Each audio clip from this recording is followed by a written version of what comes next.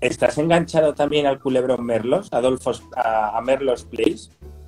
Bueno, sí, sí, sí, sí, sí, qué gracioso, por favor, todo esto. Es como una telenovela también eh, de estas de Venezuela y ese tipo de cosas. Claro, pensábamos que España era diferente y muchas cosas que están pasando en este país vienen importadas de sitios así que me encantan. La verdad que, claro, en el caso de la telenovela venezolana me encanta porque no deja de ser una ficción.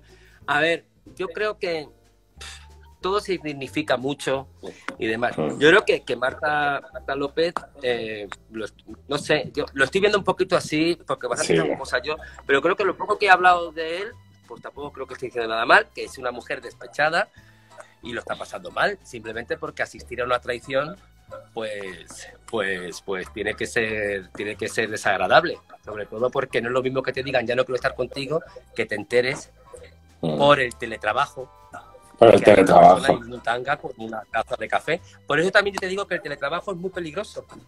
Mira lo por que eso. sobre por teletrabajar. Pues siempre te lo he preguntado, el, respecto, el, el, secreto de vuestro matrimonio es, es que sois como sois y os tenéis un gran respeto y todo. Pero, ¿creéis en las parejas abiertas? ¿Tú has creído en las parejas abiertas alguna no. vez en tu, en tu, vida? No, no, no, no, no, yo no. Que no, que no, que no, que no. Además, yo no tengo nunca pareja. Mira, la primera novia que yo tuve, que me la encontré hace poco. eh, yo después me fui a verla y resultaba que tenía otro novio. Y yo dije, guapa, o te quedas conmigo y la dejé. Y después no tuve más, estuve a olvido y no. Y no hemos tenido la necesidad, por lo, vamos, que no, que yo respeto todo, pero que yo no. Porque yo creo que mejor lo malo conocido que lo bueno por conocer. Yo creo que la infidelidad de una pareja es diferente a la infidelidad de un amigo. A ver, si tu amigo te está poniendo a parir constantemente desde hace cuatro años. Eso sí, eso es una infidelidad. Eso, eso, eso, es un hijo de la gran. Entonces, pues moñeo a los dos, moñeo a la amiga y moñeo a la mujer. sí, sí, sí. Pero a lo mejor después llega el momento, llega el momento y a lo mejor tú reaccionas de otra forma. Es que no lo sabes. Lo importante es no tener que asistir a eso, porque asistir a, a, a decepciones y a desengaños creo que pues que es, que es muy complicado, como le ha pasado, por ejemplo, a Marta López. Por eso.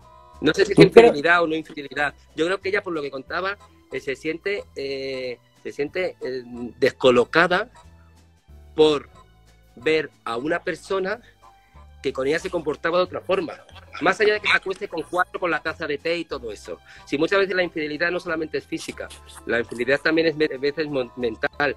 Y entonces tú, por ejemplo, si estás viviendo con una persona y de la noche a la mañana no la reconoces, eso también es asistir a, a, a una decepción muy grande.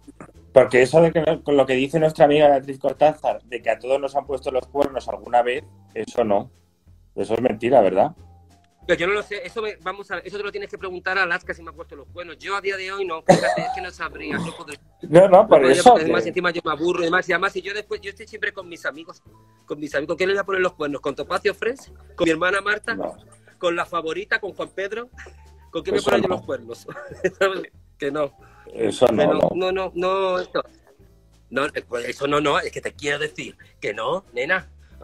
Que no, pero vamos, y, y, si me lo han puesto, yo creo que no tampoco, porque yo creo que se le notaría. Oye, a lo mejor sí, pero eso, como tú eres mi amiga de Alaska, se lo tienes que preguntar. Oye, Mario, preguntaban por aquí: ¿te casaste en Las Vegas, te casaste luego en Madrid y por la iglesia, por no te has casado?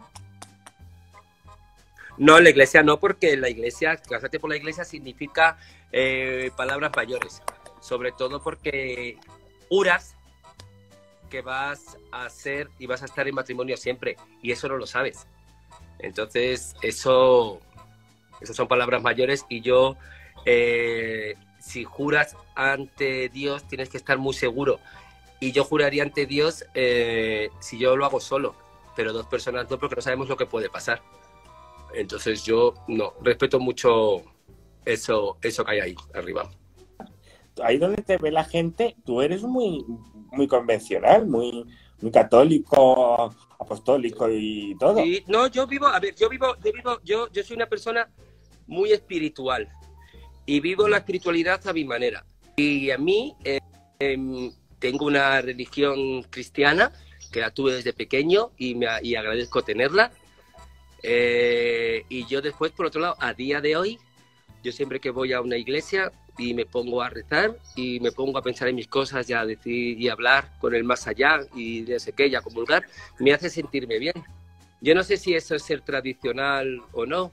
Yo creo que eso es ser una persona inteligente, que las cosas que te hacen sentirte bien las haces. Es como tomarme 20 cervezas, también me hace feliz. Y te ha apoyado. ¿Sabes lo que te quiero decir? Sí, sí. Y te has apoyado en los momentos difíciles que has pasado, te ha, te ha apoyado tener fe. Y me ha ¿Y salvado. todo? Sí, sí, sí, sí, sí, sí. Y yo el otro día le pedí a Dios que por favor esto pasara muy pronto. ¿Sabes lo que te quiero decir? Yo mis oraciones que hago todas las noches, lo digo por favor. Y sobre todo pido por, por mí, por mi entorno más cercano y por todos los demás, que a todos les vaya bien. Y a mí esas cosas me hacen sentirme bien. Y en momentos de adversidad y en momentos de pérdida de personas queridas, como bien sabes tú que he pasado, Sí. eh, a mí mis momentos de, de oración y mis momentos de, de, de hablar, o- y de no hablar con los demás, sino de hablar conmigo y con otra pos- cosa que no sabe lo que es, me ha salvado mucho y me da mucha tranquilidad. Con lo cual, bienvenido sea. En el fondo eso se, se llama tener espiritualidad. Eh, y la espiritualidad es muy amplia y cada uno lo vive de unas maneras. Y yo a mi manera la vivo muy bien y me hace muy feliz ir a una iglesia. Ah, y otra cosa también. Estas Claro. gafas que llevo, cariño, estas gafas son de hace 25 años, cariño. Eso que a mí me, estaba sorprendiendo, que yo esas gafas no te las conocía. Mi amor, se me han roto las cuatro gafas que tengo de repuesto, se me han roto. Porque me quedo dormido en la, en la cama, entonces me levanto, soy un desastre y he estado varios días con las con una, con una patilla y cada vez que hacía que cada vez que cocinaba se me caía la sartén o cada vez que iba al baño, lo que fuera. Entonces encontré estas que también se me rompieron y me las arreglaron y aquí estoy con esta gafita de, de redicha. Todo es un desatino, pero bueno, afortunadamente un desatino maravilloso del que yo estoy tratando de, de- de- salir ya, ¿sabes? Y, Mm. y ya está. Que creo que vuelva todo a la normalidad. Eh, tendremos que tener un poquito más de paciencia, pero bueno, mira, si la putada es la incertidumbre. Si ahí me verdad. dicen, lo que pasa es que claro, hay incertidumbre, y hay una incertidumbre porque este puto virus, como es tan nuevo y es tan cabrón, no sabemos cómo reaccionar ante él. Por eso también cuando está ese- esa incertidumbre que nos transmiten es lógica normal porque los propios medios saben. Entonces hay que, tenemos que tener paciencia. Que estoy seguro que sí, que con la ayuda de todos los dirigentes políticos y con la ayuda de los sanitarios y con todo vamos a salir adelante. Hasta luego. Chao.